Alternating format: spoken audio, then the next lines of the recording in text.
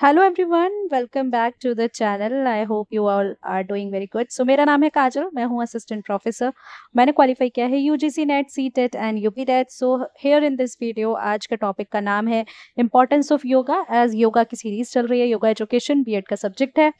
आपकी सीरीज़ चल रही है. आपको सारे वीडियोज़ कॉम्प्रहेंसिवली मिल रहे हैं. सो so, वीडियोस कैसे लग रहे हैं आपको, ज़रूर कमेंट में लिखिए और मुझे बताइए। और कोई भी चेंजेस चाहिए आपको तो let me know in the comment section I definitely inculcate in my next videos उसके अलावा I would like to inform you all कि आपका जो पेपर वन है, उसकी भी सीरीज़ चल रही है। बहुत सारे जो टॉपिक्स है कवर हो चुके हैं। ईवीएस ऑलमोस्ट कवर है। आपका सेकेंड पेपर कंटेम्प्रेरी इंडिया भी हम कवर कर रहे हैं, है ना? तो सारा पेपर आपका बीएड का कवर हो रहा है। थर्ड सेमेस्टर सेकेंड सेमेस्टर सब कुछ कवर हो रहा है। सो आप लोग आराम से देख सकते हैं। ठीक है? तो योगा का आज हमारा फ़र्स्ट यूनिट का थर्ड टॉपिक है। That is importance of yoga आप किसी भी यूनिवर्सिटी से हैं, आप इसको देख सकते हैं वीडियो को। नो इश्यूज़ नो कोई दिक्कत नहीं है इन चीज़ों में, ठीक है? तो हम शुरू करेंगे बिना किसी देरी के। So topic is importance of yoga हमने पहले पे वीडियो में डेफिनेशन मीनिंग देखा, फिर हमने ऑब्जेक्टिव्स ऑफ़ योगा देखो। अब एक एक बात समझो, जो ऑब्जेक्टिव होंगे, क्या वही इम्पोर्टेंस नहीं होगी? है ना? वैसी ही, उससे मिलती जुलती ही इम्पोर्टेंस होनी चाहिए ना? तो चलो। तो सबसे पहले इंपॉर्टेंस योगा की क्या है क्यों क्यों ज़रूरी है योगा? क्योंकि ये हमारी फ़िज़िकल हेल्थ को ठीक करता है। It is good for our physical health physical health आपकी बॉडी की जो हेल्थ है वो ठीक होती है, इससे इसलिए इट इज़ इंपॉर्टेंट ठीक है? देन है ना? इसके अंदर अगर मैं देखूँ तो ये हमारी फ्लैक्सिबिलिटी को इंक्रीज करता है है ना? स्ट्रेंथन करता है, इसको हमारी मसल टोन जो है वो इम्प्रूव होती है फ्लैक्सिबिलिटी हमारी इम्प्रूव होती है, हमारे पॉस्चर्स बहुत अच्छे हो जाते हैं, है ना? इंजरीज नहीं होती हैं और आपकी फ़िज़िकल हेल्थ जो है ओवरऑल वो मेंटेन हो पाती है। ठीक है? देन uh, आपकी इम्यूनिटी और वाइटैलिटी जो है वो अच्छी हो जाती है। आपके जो लिम्फेटिक सिस्टम्स हैं आपका जो सर्कुलेशन है एनहांस करता है आपकी जो बॉडी में सर्कुलेशन रुके हुए हैं वो काफ़ी कुछ इम्प्रूव हो जाते हैं। आपकी बॉडी की एबिलिटी जो है जब इम्यूनिटी आपकी स्ट्रॉन्ग होगी तो आपकी बॉडी की जो एबिलिटी है टू फाइट इन्फेक्शन वो भी काफ़ी कुछ इम्प्रूव हो जाती है। आपकी हार्ट हेल्थ को कम सपोर्ट करता है है ना? आप जब रेगुलर योगा हम लोग हमेशा बात करेंगे ये रेगुलर योगा एक दिन योगा करके नहीं आपको बेनिफिट होगा you have to do it in long term ठीक है? तो आपकी हार्ट हेल्थ जो है, उसको भी ये सपोर्ट करता है। तो dynamic yoga practices benefit cardiovascular health by lowering blood pressure आपका ब्लड प्रेशर कम होता है, आप एनहांस करते हैं, आपका सर्कुलेशन यहाँ पे इंपॉर्टेंट होता है। तो फ़र्स्ट इंपॉर्टेंट इम्पॉर्टेंस जो है योगा की यही है कि ये है ना हमारी फ़िज़िकल वेलबींग के लिए दिस इज़ वेरी इंपॉर्टेंट ठीक है? तो आपकी रेस्पिरेटरी एफिशिएंसी ठीक करता है, आप जो ब्रीदिंग टेक्निक्स करते हैं, प्राणायाम्स करते हैं, उससे आपकी लंग कैपेसिटी ठीक होती है, आपका रेस्पिरेटरी सिस्टम जो है वो ठीक होता है। Aids in managing weight yoga helps regulate metabolism encourages mindful eating है ना? आपका जो मेटाबॉलिज्म है, आप उसको कंट्रोल करने में में ये काफ़ी हेल्प करता है। आपको पता चलता है कि मुझे क्या खाना है, क्या नहीं खाना है। आप हेल्दी वेट मैनेजमेंट की तरफ़ भी ध्यान देना शुरू कर देते हैं। So overall the very first importance of yoga is your physical well physical health being है ना फ़िज़िकल वेलबींग जो है वो आपकी काफ़ी अच्छी होती है। क्योंकि आप एक्सरसाइज कर रहे हैं, आप पसीना निकाल रहे हैं, आप प्राणायाम कर रहे हैं ब्रीदिंग एक्सरसाइज कर रहे हैं तो आप अपनी बॉडी से थोड़ा काम ले रहे हैं, ठीक है? देन आपकी मेंटल क्लैरिटी प्रमोट होती है। सेकेंड इंपॉर्टेंस ये है कि आपको मेंटल क्लैरिटी आती है। आपका जो स्ट्रेस और टेंशन है वो रिड्यूस होता है। आपका जो रिलैक्सेशन होता है ना बॉडी का, वो स्टार्ट हो जाता है जब आप योगा करते हैं। आपका स्ट्रेस लेवल लोअर हो जाता है और एक काम स्टेट ऑफ़ माइंड जो है वो आपका डेवलप होना स्टार्ट हो जाता है। Then sharpens focus and attention by promoting mindfulness yoga helps enhance concentration and mental clarity तो जब आप माइंडफुलनेस जो है वो प्रमोट करते हैं तो योगा आपको कंसंट्रेशन और मेंटल क्लैरिटी जो है वो देने की कोशिश करता है। आपको बेटर स्लीप नींद, आजकल नींद का बहुत इशू है भाई, नींद नहीं आती, लोगों को रात रात भर हो जाती है। सो बेटर स्लीप के लिए अगर आपकी स्लीप का पैटर्न अच्छा नहीं है ना डू फॉलो द योगा करके देखो उसको और उससे आपकी जो बॉडी और माइंड है ना, दोनों रिलैक्स होगी और उसको आपको नींद आएगी। इवन आप सो रहे हो तो आपको साउंड स्लीप नहीं आ रही है है ना? तो आपको साउंड स्लीप के लिए ज़रूरी है कि आप फ़िज़िकल वर्कआउट कराएँ तो इसके लिए ज़रूरी है कि आप कोई भी वर्कआउट कीजिए अदरवाइज़ योगा कीजिए। सो योगा की क्या इंपॉर्टेंस है हम ये पढ़ रहे हैं तो एनकरेज करता है योगा बेटर स्लीप के लिए भी। देन बैलेंस इमोशनल हेल्थ आपकी इमोशनल हेल्थ को भी बैलेंस करता है। आपके अंदर इमोशनल रेजिलियंस आती है है ना? जो आजकल हम नेगेटिव हो गए हैं ना कि, अरे, मेरे साथ तो ऐसा ही हो रहा है या, मुझे गुस्सा आ गया, मैं एनजाइटी का शिकार हो रही हूँ डिप्रेशन में हूँ। तो आपकी जो इमोशनल स्टेबिलिटी है ना, उसको भी कंट्रोल करने में जो योगा है, वो काफ़ी कुछ हेल्प करता है। आपकी इमोशनल रेजिलियंस के लिए बहुत इंपॉर्टेंट है। देन सेल्फ अवेयरनेस के लिए इंपॉर्टेंट है। इट इंपॉर्टेंस है it fosters emotional intelligence awareness helping practitioners better understand and regulate their emotions practitioners को पता चलता है कि उनको अपने इमोशंस को किस तरीके से रेगुलेट करना है। Then promotes positive thinking yoga encourage करता है positive mental outlook helping individual cultivate happiness and contentment है ना, जब आप योगा करते हैं तो आपको मेंटल क्लैरिटी आ रही है। कैसे आ रही है मेंटल क्लैरिटी आप पॉजिटिव सोचना शुरू कर रहे हैं नेगेटिव चीज़ों से दूर जा रहे हैं, है ना? इन सारी चीज़ों पे आपका फोकस है। Then fostering spiritual development spiritually आप ग्रो करते हैं, आप अपने आप से कनेक्ट हो पाते हैं। वेरी इंपॉर्टेंट है आज के टाइम में अगर हम बात करें तो हम लोग मटीरियलिस्टिक चीज़ों में लगे पड़े हैं तो अपने आप से नहीं मिल पा रहे। तो योगा करते हैं आप तो क्या होगा? आपको इनर सेल्फ से मिल पाते हैं। आपकी स्पिरिचुअल ग्रोथ जो है वो एनकरेज होती है कनेक्शन इनर बींग के साथ आपका बढ़ जाता है।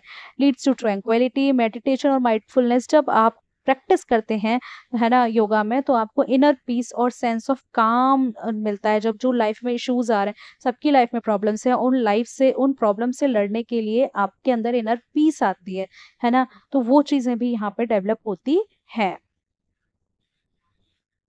ठीक है? तो उसके अलावा आपको सेल्फ रियलाइजेशन होता है, आपको ये रास्ता पता चलता है कि आप किस तरीके से अपने आप को अचीव कर सकते हैं, अपने आप से आप मिल पाते हैं, है ना? आपके अंदर आप ये जान पाते हैं, आप ये सेंस कर पाते हैं कि आप ब्रह्मांड से किस तरीके से मिलेंगे। Then supports holistic wellness holistic wellness के लिए एक ओवरऑल वेलनेस के लिए बहुत ज़रूरी है। तो इंटीग्रेट करता है माइंड बॉडी स्पिरिट को। योगा का कॉम्प्रहेंसिव अप्रोच जो है, वो आपकी फ़िज़िकल मेंटल और स्पिरिचुअल एस्पेक्ट्स ऑफ़ लाइफ को प्रमोट करता है। Then encourages a balanced lifestyle yoga promotes ethical living healthy eating and mental discipline contributing to more balanced and healthy life है ना? योगा अगर आप कर रहे हैं तो आपको बैलेंस लाइफस्टाइल जो है फॉलो करने की आदत हो जाएगी। देखा होगा आपने, कई जगह लोगों को जो भी योगा कर रहे हैं, सात्विक फ़ूड खाओ अच्छा खाना खाओ, बाहर का मत खाओ पैकेज मत खाओ तो ये सारी चीज़ें आपको आने लग जाती हैं, क्योंकि आप जो किसी चीज़ के लिए काम कर रहे हो ना तो फिर आपको लगता है, नहीं यार, ये मुझे करना है राइट तो वो चीज़ यहाँ पर आपको आती है और ये बहुत ज़रूरी है एक प्रोस्पेक्टिव टीचर्स को कि उनको इस योगा की इम्पोर्टेंस पता चले, जिससे कि वो अपने बच्चे जो हैं क्लास में, उनको भी वो योगा करा पाए। आपको इम्पोर्टेंस नहीं पता बच्चे ने पूछ लिया, मैम क्यों करा रहे हैं हम? सर, हम क्यों कर रहे हैं इसको? आप कैसे करोगे? कैसे बताओगे? है ना? तो आपको खुद को इम्पोर्टेंस पता होनी चाहिए। ठीक है?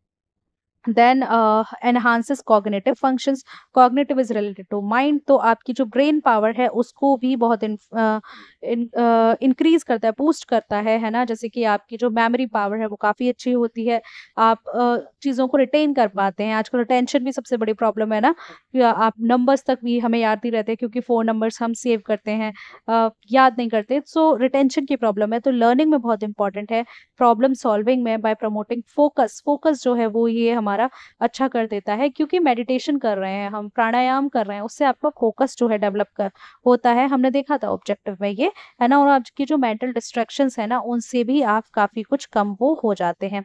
और जब ये सारी चीज़ें सही हो जाएँगी तो आपकी एकेडमिक परफॉर्मेंस भी अच्छी होगी। स्टूडेंट्स के लिए योगा जो है रिड्यूस करेगा स्ट्रेस को कॉन्सेंट्रेशन इंक्रीज करेगा और अकेडमिक सक्सेस ओवरऑल मिलेगा। जब आपको स्ट्रेस नहीं है पॉजिटिव चीज़ें सोच रहे हैं, अच्छे से फोकस कर पा रहे हैं रिटेंशन कर पा रहे हैं तो क्या होगा? अकेडमिक सक्सेस डेफिनेटली आपको मिलेगी। उसके अलावा क्रॉनिक डिज़ीज़ मैनेजमेंट में बहुत ज़रूरी है, जब अगर आपको डायबिटीज़ है अर्थराइटिस है हार्ट डिज़ीज़ है तो उसमें कहते हैं कि योगा जो है हेल्प करता है उनको भी मैनेज करने में। उसके अलावा लाइफ रिलेटेड जो इलनेस होती हैं, है ना बैलेंस लाइफ स्टाइल को लेकर के जो अनबैलेंस लाइफ स्टाइल को लेकर के जो इश्यूज़ होते हैं, उनको भी योगा रिड्यूस करता है। सो आपका stress yoga help prevent condition जैसे कि हाइपरटेंशन ओबेसिटी डायबिटीज़ उनमें भी ये काफ़ी हेल्पफुल रहता है।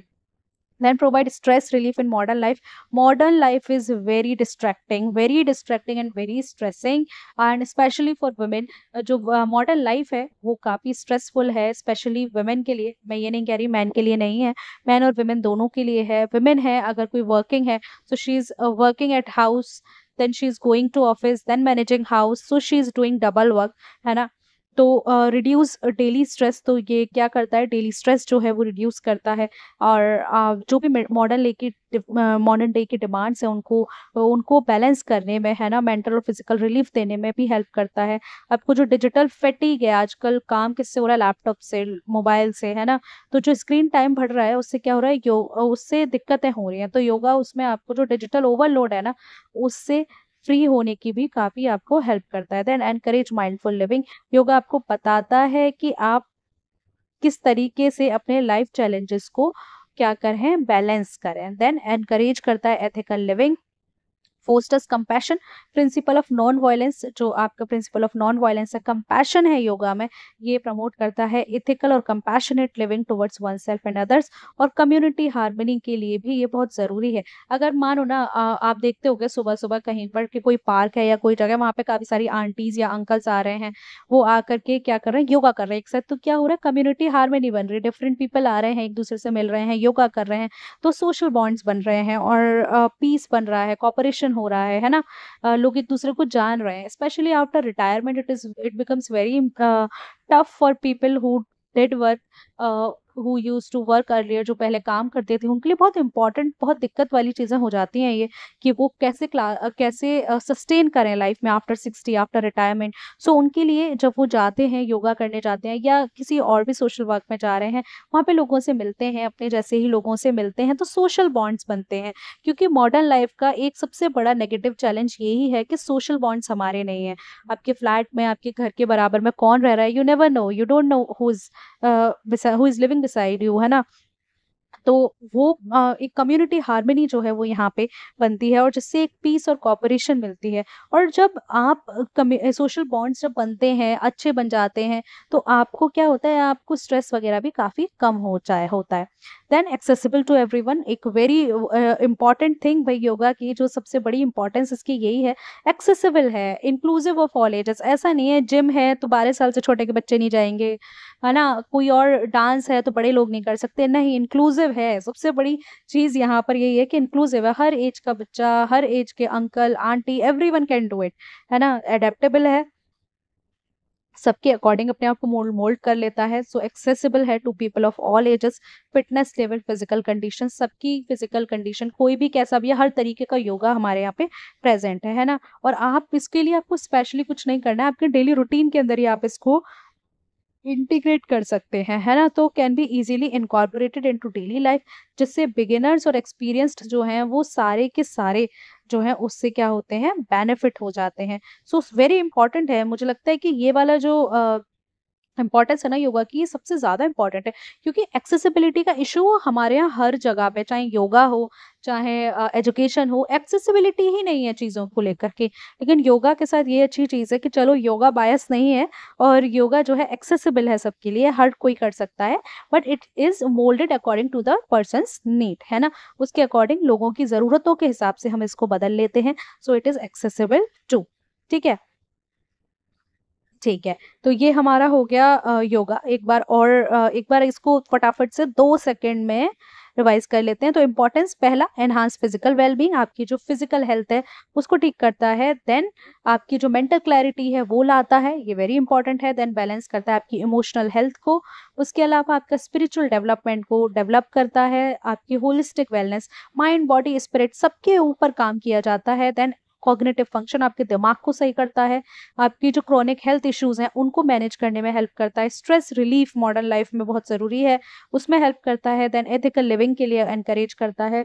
और last one is accessibility accessible to everyone ठीक है तो ये हमारा इंपॉर्टेंस ऑफ़ योगा भी कंप्लीट हो गया है। अब हम शुरू करेंगे unit two in new video देखो सब बना हुआ है। Yoga in Vedas Upanishad video आएगा।